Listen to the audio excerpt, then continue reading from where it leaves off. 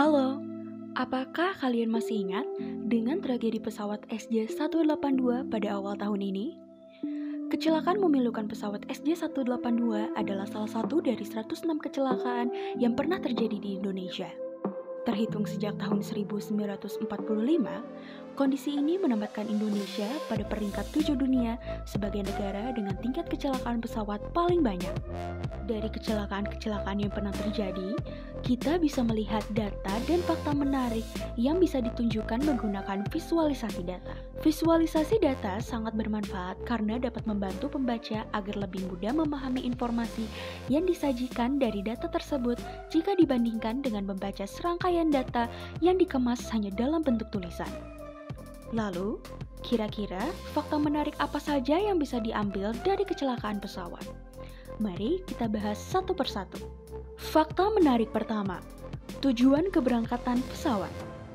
Aviation Safety Networks mengumpulkan data kecelakaan pesawat global sejak tahun 1945 hingga 2021.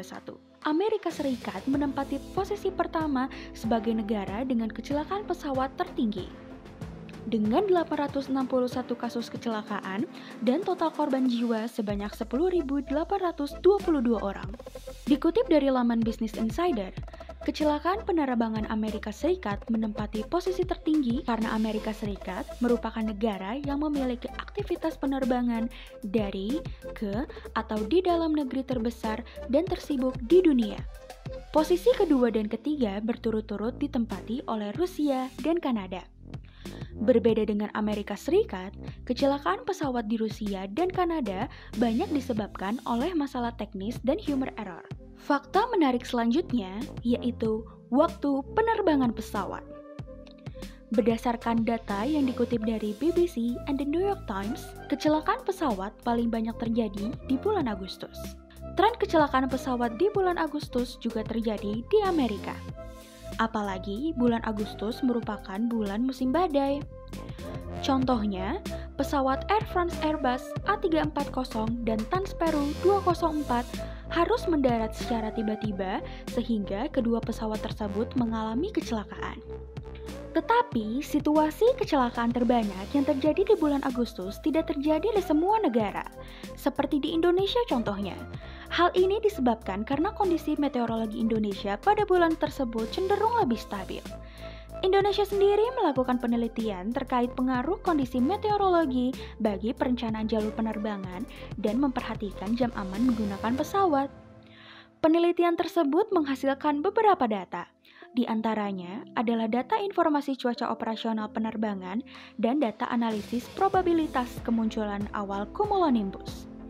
Berdasarkan data tersebut, diperoleh fakta menarik bahwa saat musim kemarau pada bulan Juni hingga Agustus, persentase kemunculan awal cumulonimbus sangat kecil. Sehingga pada bulan tersebut memiliki potensi bahaya yang rendah dan dapat dijadikan rujukan waktu aman untuk terbang. Fakta menarik terakhir seputar kecelakaan pesawat adalah posisi tempat duduk. Kalian tahu tidak kalau posisi tempat duduk ikut andil dalam meningkatkan potensi survival saat terjadi kecelakaan pesawat.